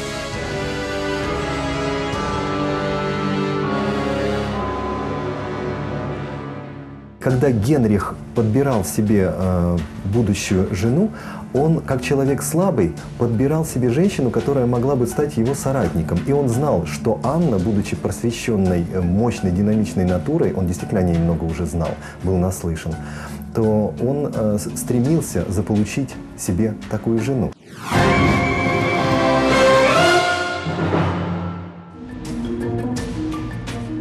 Залишався тільки один сумнів, чи віддасть за нього Ярослав улюблену доньку. Адже про її красу та розум ходять легенди. Але врода Анни Генріха не цікавить. Завдяки шлюбу із русинкою він уникне гріха перед церквою, отримає здорового нащадка та заручиться підтримкою могутньої Київської Русі. Та посольство короля привозить із Києва невтішну звістку. Князь Ярослав не хоче віддавати за нього свою улюблену доньку. У Парижі 12 століття жило 12 тисяч людей, а в Києві 50. Ось вам ну, показник того, що робилося. Франція була слабосила, маленька країна. Вона була розділена на який-небудь бургундський герцог був набагато сильніший, ніж король. Це вулиця Ірининська, яка знаходиться поблизу Софіївського собору. І саме тут, 10 століть тому, стояв знаменитий палац Великий Ярославів двір. У ньому зростала Анна та її сестри, а їхнім вчителем був Інок Іларіон, в майбутньому знаменитий митрополит Київський. Княжни вчилися арифметиці, співу, історії, малюванню, знали грецьку і латинську мови, розумілися на медицині. Батько готував з доньок не просто добрих дружин, але освічених майбутніх правительок. І він не помилився. Усі його доньки стали королевами. Старша Єлизавета одружилася з королем Норвегії, молодша з королем Угорщини. А для своєї улюблениці Анни батько готував особливого нареченого. Він розраховував віддати її за цісаря Римської імперії Генріха III. Тому з легким серцем відмовив послам французького короля. Але сталася несподіванка. Італійський цісар раптом відмовився від одруження, а французький король продовжував наполягати на шлюбі. У відчаї король Франції принижується вдруге. Він знову засилає сватів до Києва. Неймовірно, але цього разу отримує згоду руського князя. Анна Ярославна таки приїде до Франції і візьме шлюб із Генріхом. Та тільки король не знає, що насправді її обранцем стане зовсім не він, а той, чиє ім'я у його країні бояться вимовляти вголос. Не знала цього й сама Анна Ярославна. Вона поїхала до Франції з надією. Сподівалась, що її обранець красивий мужній лицар, що на неї чекає тепла зустріч, освічений двір, поети, лірники, літературні розваги все, що було при дворі її батька. З цією надією княжна подолала дві тисячі кілометрів. На це пішло цілих два місяці. Княжий кортеж проїхав Краків, Прагу, Регенсбург, переправився через Дунай. Дорогою наречена короля старанно вчила французьку і читала. З собою Анна везла багатий посах, коштовні тканини, килими, хутра, золоті монети і безліч цінних книжок з батьківської бібліотеки. А серед них найціннішу, яку готувала у дарунок своєму нареченому. Саме з цієї книги і почались пригоди Анни у Франції. Саме на ній відтоді присягатимуть на вірність народу всі французькі королі. Та що у цій книзі було такого особливого? Далі у програмі який сюрприз приготувала нареченому княжна Анна Ярославна? Чому її перше бажання ледь не викликало скандалу? І про що молода дружина так ніколи і не розповіла своєму законному чоловікові?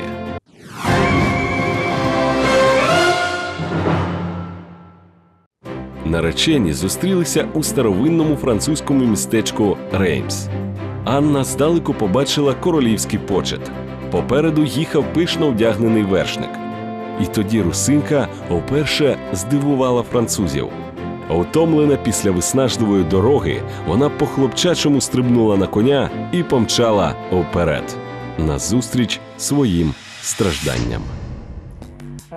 У наш час Генріх би вважався чоловіком у розквіті сил, але в 11 столітті середня тривалість життя була меншою, тому 50-літній Генріх вважався вже підстаркуватим старим дівцем.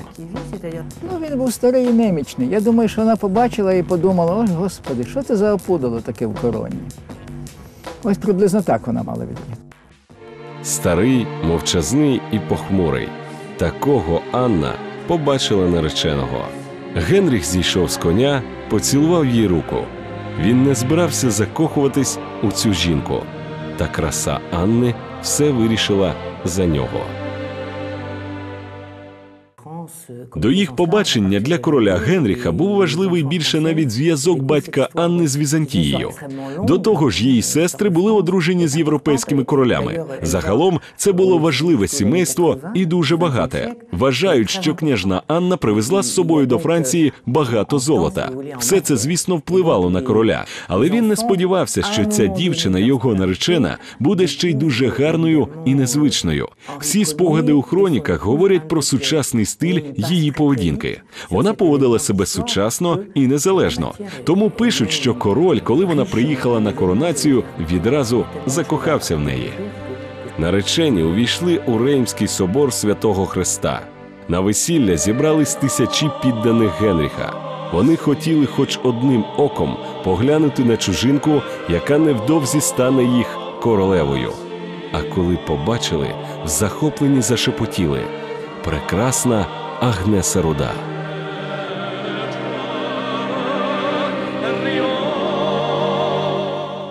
Церемонія мала відбутися за традиційним сценарієм, та сталося непередбачуване.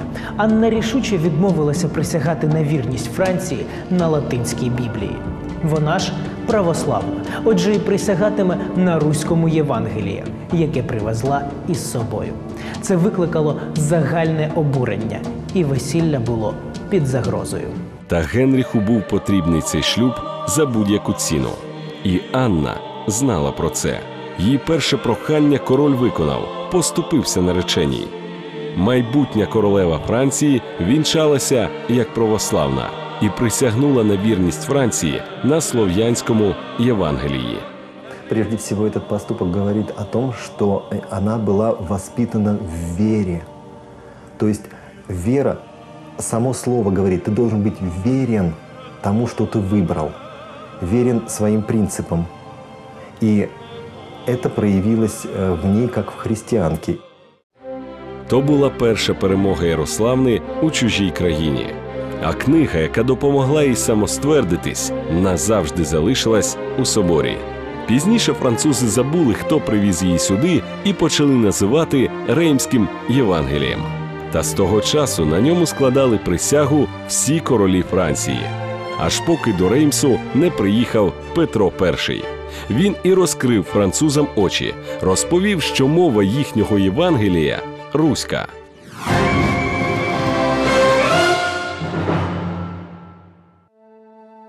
На вінчанні Анна присягнула на вірність Франції. Та коли вона приїхала до Парижу, вжахнулася. Невдовзі Ярослав Мудрий отримав від доньки лист. Анна скаржилася батькові. У яку варварську країну ти мене відіслав? Тут житла похмурі, церкви потворні і звичаї жахливі. Що ж так вразило королеву Анну? Першим їй шокував власний чоловік, тому що під час вінчання він поставив під її підписом хрестик. Розумниця Анна через усю Європу везла десятки книжок, щоб подарувати їх своєму чоловікові. А виявилося, що він не вміє ані читати, ані писати. І не він один. Ніхто з придворних також не володів письмом. вихований у Київській Русі, просто обурював французький список лицарських чеснот. Бути гарним наїзником, вміти плавати, битися на мечах, метати списа, полювати та грати в шахи. За цим списком виходить, що лицарю зовсім не обов'язково вміти читати та писати. Якщо у тогочасній Франції освічені чоловіки були лише серед духовенства, то освічених жінок не було взагалі. Друге відкриття, яке Анна зробила при дворі, французи не миються. Не було жодних лазень, нічого крім мисочок, де мили руки і обличчя. Воду не любили і навіть боялися її, тому що вважали джерелом різних хвороб та епідемій. Париж було маленьке місто, я вам казав. Страшенно брудне. Значить, не було ні каналізації, все це нечистоти на вулицю виливали, там, значить, і все оте таке. Собаки бродячі ходили. Ми думаємо, що Київ був чистіший. Ми так думаємо. Бо знаходили залишки київського водогону, вже знаєте. Можливо, не набагато, але був чистіший. Далі ви побачите, як Анна здійснила революцію при дворі, про що її попросив папа Римський, і чому король не зрадів появі свого нащадка.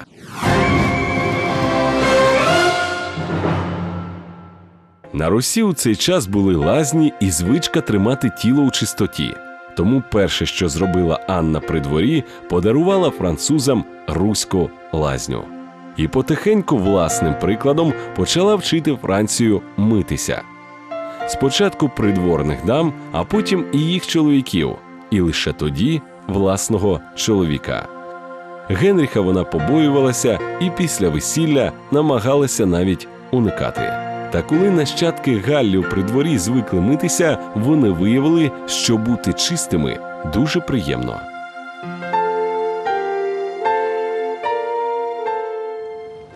Наступний її крок при дворі теж сприйняли як революцію, а спричинила її виделка.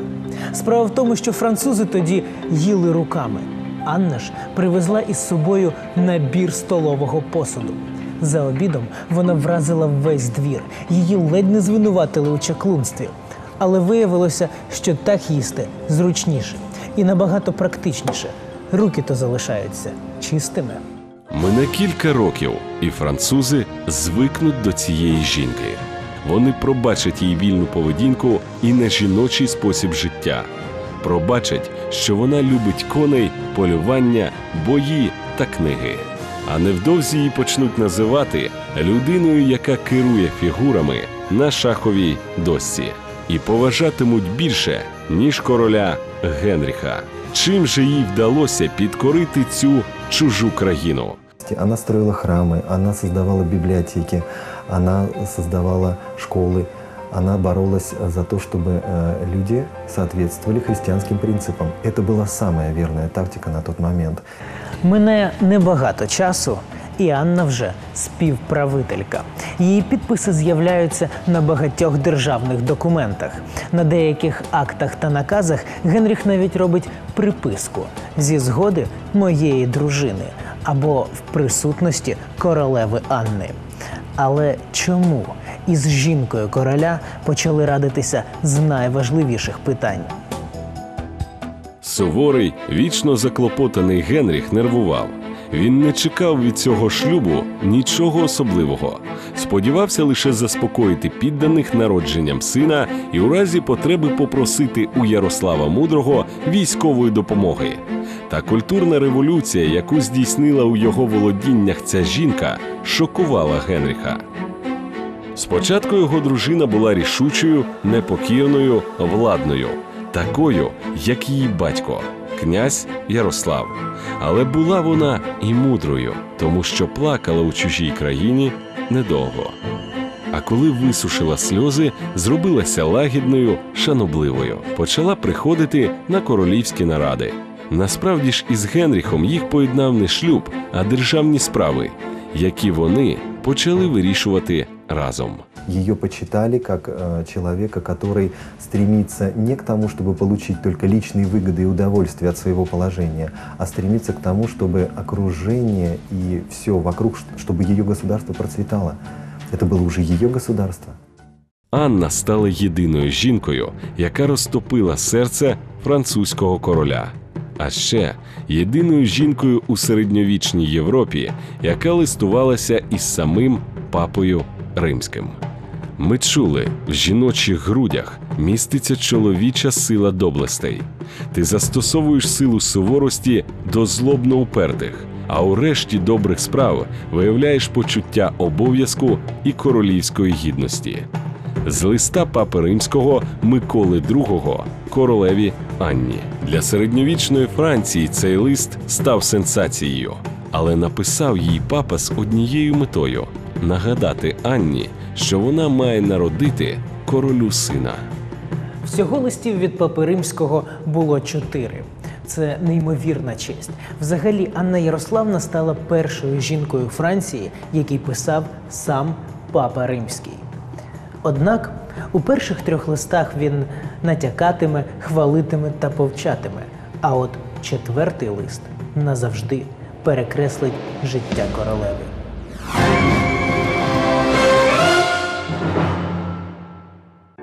Невідомо, чи на Анну подіяв лист папи, чи то вона самотужки порозумілася з Генріхом, але папське прохання молодята виконали.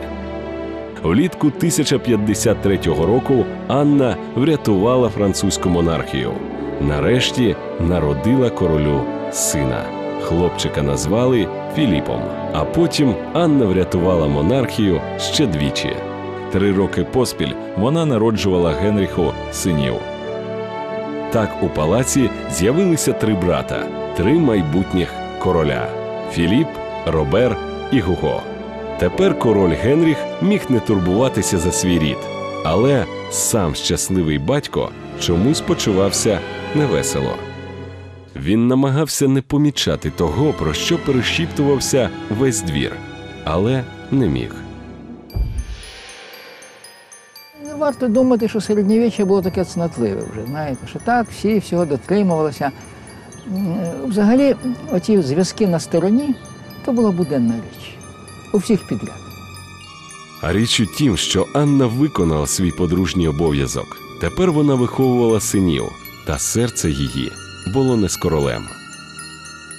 Юна королева занадто багато уваги приділяла його найбільшому ворогу, блискучому лицарю, невихованому і владному чоловіку, якого при дворі називали дияволом. Це був граф Рауль де Валуа. Вона знала цього пихатого дворянина з самого приїзду до Франції. Вперше, коли Анна побачила його, він лише зухвало глянув на неї, вдруге вклонився, а втретє королева закохалася. Цей чоловік надто відрізнявся від Генріха. Мужній, стрімкий, він у чомусь нагадував їй батька. Ярослава. Хто був цей дворянин? Анна дізналася значно пізніше і тоді злякалася. Це був лютий ворог Генріха, той, кого за неповагу до церкви називали дияволом. Але вдіяти із собою Анна вже нічого не могла. Їх бачили разом за світською бесідою. Та погляд Рауля видавав усе. Він любив цю жінку, хоча вона зруйнувала його мрії самому посісти престол. Главная ипостась жен- женщины в действительности это возвысить мужчину, поднять его. При том, что э, де Валуа был э, человеком деспотичным, мощным, сильным. Это была мощная натура, он был грубоватым. А Анна сделала его мягким, нежным и добрым человеком. В тот момент, когда она была рядом с ним, он перевоплощался. Генріх здогадувався про їх стосунки. Він не спав ночами, намагався тримати Анну завжди поруч з собою, залучав її до всіх державних справ, але вдіяти нічого не міг. Анна, всупереч власному бажанню, стала прокляттям для обох чоловіків. Генріх ніколи не відзначався, як можна судити з його життя оцією войовничістю, запалом, лицарством таким чи рицарством. А той, у того було все навпаки. То був справжній такий, знаєте, мужчина, такий рицар, весь закутий у броню, там, в шоломі з пір'ями, то знаєте. Не тільки така молода і недосвідчена жінка могла закохатися, а могла й більш така матрона вже літня. У всіх трьох були дивні стосунки. Генріх пильнував дружину, Рауль схиляв її до втечі. А сама Анна вирішила, вона кохає Валуа, але залишиться вірною своєму чоловіку. В девочке с детства внушалась идея о том, что она должна возлюбить мужа своего, каким бы он ни был. Поэтому Анна, будучи э, благообразной христианкой, э, своеобразно любила Генриха и была ему верна. Так тривало 10 років. Встигли підрости сини короля. Папа Римський встиг надіслати Анні ще одного листа, а у ньому натякав, їй потрібно припинити стосунки з цим відступником Раулем де Валуа. І Анна вдруге послухала папу. Вона розірвала стосунки з Раулем, заборонила собі навіть думати про нього. Роздратований граф, щоб помститися королеві, одружився. Але мине два роки, і він пошкодує про це. Далі у програмі. Чому король Генріх раптово коронує свого семирічного сина? За що Рауля де Валуа покине законна дружина? І як королева Анна стане першою в історії жінкою-правителькою Франції?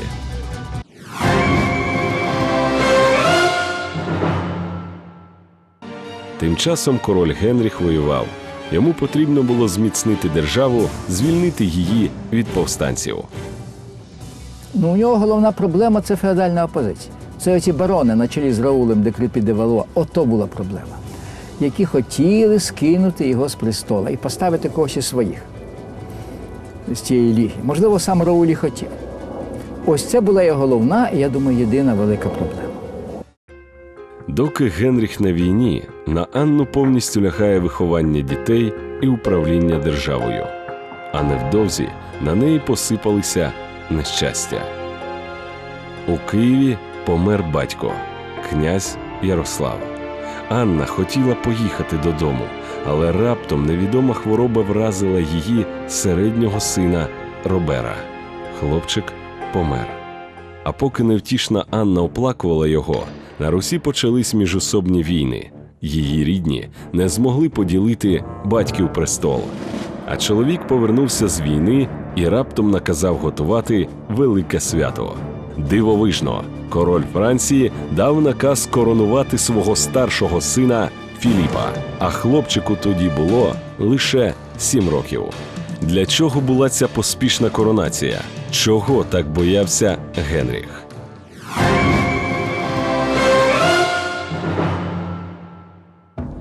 Генріха мучили страшні передчуття.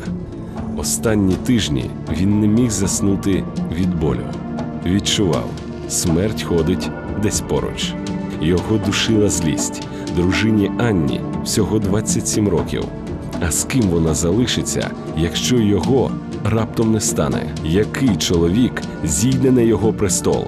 Він здогадувався, хто це може бути. І тому, змучений ревнощами, Генріх коронує свого семирічного сина, щоб зберегти владу за власними нащадками. Він перечув свою близьку смерть.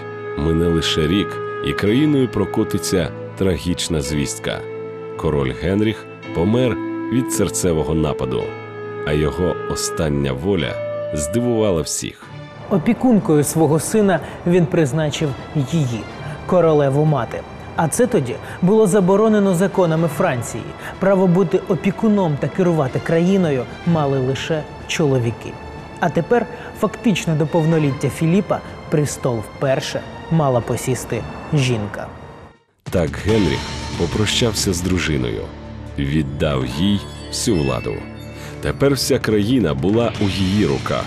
Анна могла повністю змінити хід історії Європи, спробувати самотужки об'єднати Францію, запровадити православ'я, зробити своїм союзником Київську Русь. Але вона не зробила нічого. Навпаки, тимчасово відмовилась від влади. Она понимала, что она может сейчас потерять все. Она может потерять трон, и дети ее могут э, не быть претендентами на этот трон.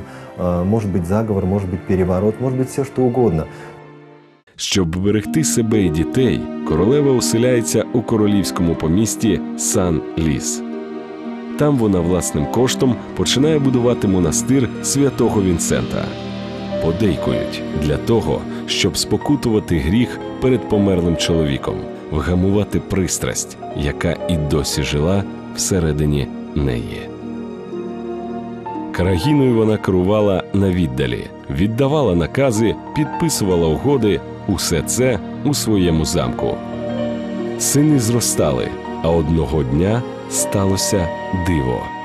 Їх мати, королева Франції, раптом зникла. Дивіться далі: скандал, загадкове зникнення королеви Франції.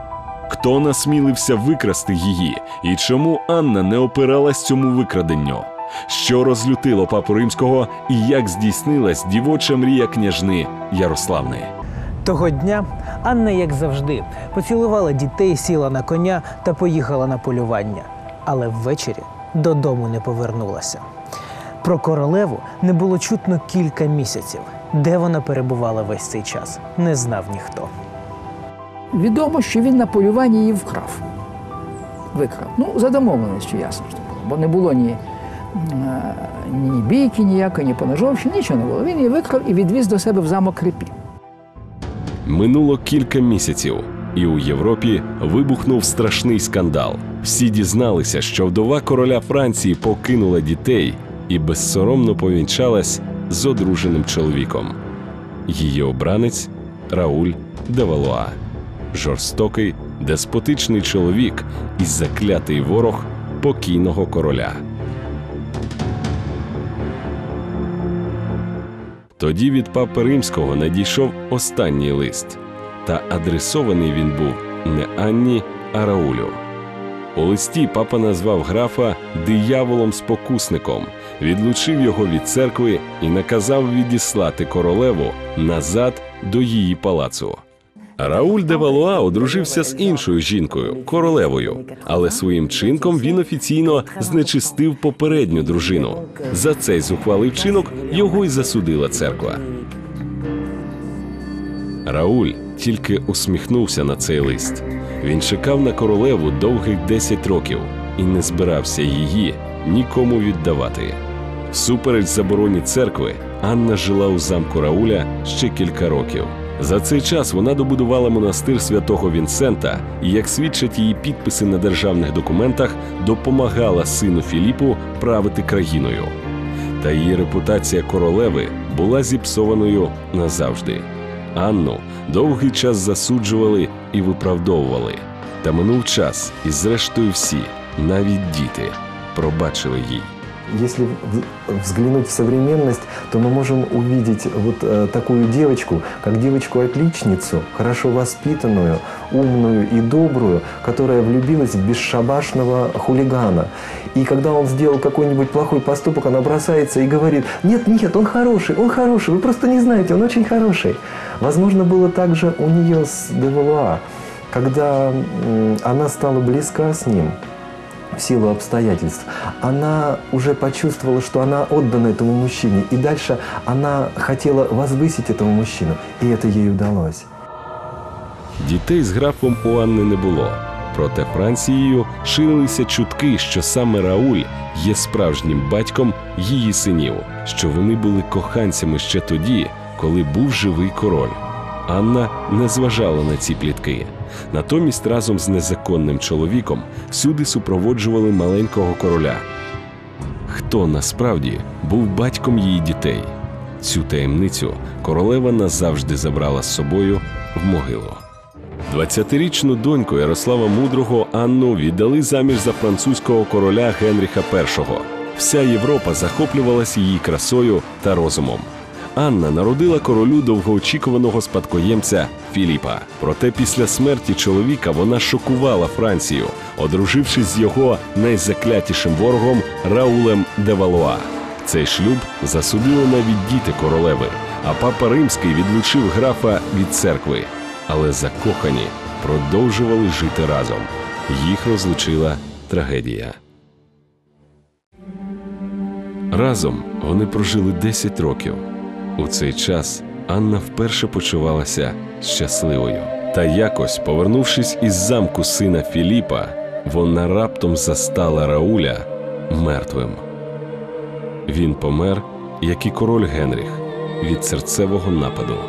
Вона вдивлялась у обличчя Рауля і звинувачувала у його смерті себе. Спочатку чоловік, тепер коханий. Чи не вона принесла їм нещастя?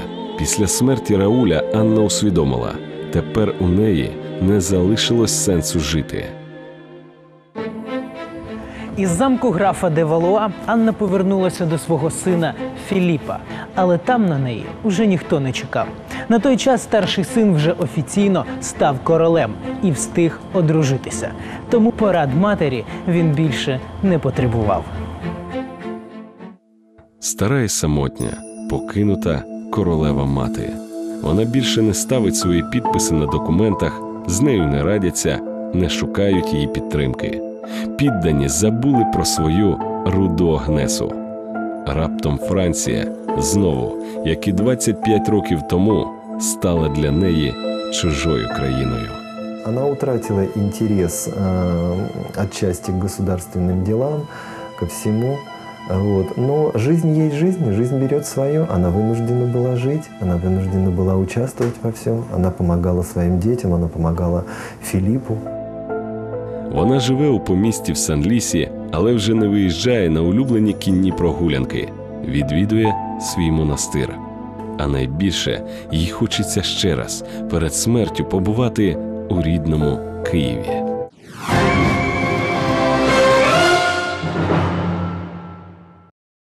Останній підпис Анни, який зберігся, дотований 1075 роком.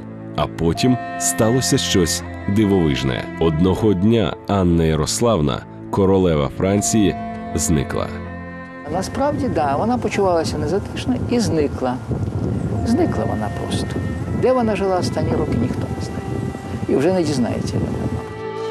Далі у програмі, де померла Анна Ярославна, і як їй вдалося врятувати улюблений собор свого батька Софію Київську, що пов'язувала королеву із Жанною Дарк, і яке відношення до неї мав англійський вчений Чарльз Дарвін.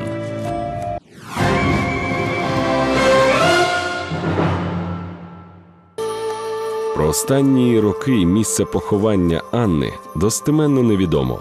Серед місць, де могла знаходитися її могила, називають Київ, Париж, Реймс та Сан-Ліс. Точно відомо лише одне: вже після смерті королева Анна зробила ще одне диво: допомогла врятувати улюблений собор свого батька Софію Київську.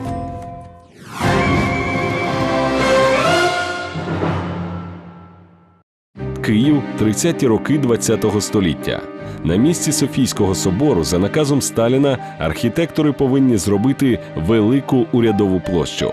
А сам собор для цього планують знищити. Заперечень істориків і мистецтвознавців ніхто не слухає. Давня святиня Київської Русі ось ось може злетіти у повітря. Та за кілька днів до запланованого знищення собору у справу втручається французька сторона. Той самий час був зруйнований Михайлівський собор, гинули видатні пам'ятки мистецтва. Тому наше консульство звернулось до радянського уряду із проханням не руйнувати собор, який побудував батько нашої королеви Анни. І комуністи погодились залишити святиню, інакше вони б зіпсували дипломатичні стосунки з Францією. Так Анна через тисячоліття допомогла Києву. І хоч ніхто не знає, де її могила, королева не зникла. Всередині ХХ століття англійський антрополог Френсіс Гальтон зробив сенсаційне відкриття. Він дослідив родовід свого дядька, творця теорії еволюції видів Чарльза Дарвіна, і дійшов вражаючого висновку. Виявилося, що видатний англійський вчений Дарвін веде свій рід від королеви Анни Ярославни. Він прапрапрапраправнук її молодшого сина Гого. Київський мистецтвознавець Наталя Крутенко багато років досліджувала родовід королеви Франції і склала унікальну схему її родового дерева. Тоді з'ясувало, що саме від Анни Ярославни ведуть свій рід 11 королів династії Капетів, 13 з династії Валуа, 7 з династії Бурбонів. А її останній нащадок король Людовік Філіп Орлеанський. Він правитиме країною до самої французької революції. А ще одного нащадка Анни Ярославни Карла VII свого часу врятувала від смерті Жанна Дарк. Вона очолила військо короля і за нього розпочала війну з Англією. За нього вона пішла на вогнище. Королеві Анні таки вдалося змінити історію цілої країни. Вона та її діти зробили Францію потужною розвиненою державою, і французи пам'ятають про це. Проте у житті Анна змушена була зробити вибір між владою і коханням, і жіноче серце обрало кохання. Її щастя тривало лише коротку мить, та ця мить була вартою того.